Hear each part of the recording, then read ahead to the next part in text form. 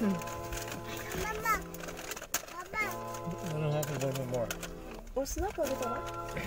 We stopped by Mr. Donuts yeah. and see you go across the screen. I'm gonna show you all three of the donuts that we have.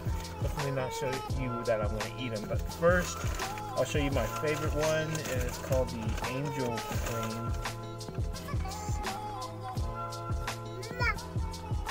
Has uh, vanilla cream on the inside right there. And then, I don't want to touch all three donuts. But I guess I'm going to. I don't know what this one is called, but has icing on here. But this is the la- the first one that I tried was the Pon de Ring. It's like a mochi type donut, Yes, I can see. and it used to be my favorite. Then it moved over to the angel cream, so Kai loves this one. But yeah, you guys check it out. It's uh, called Mr. Donuts. We're gonna enjoy this, and then we're moving over to the mall. Peace.